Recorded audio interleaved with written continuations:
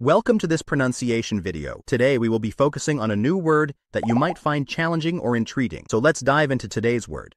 Cit, which means a common person or a citizen. Let's say it all together. Cit.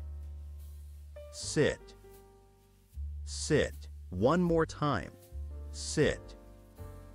Cit. Cit.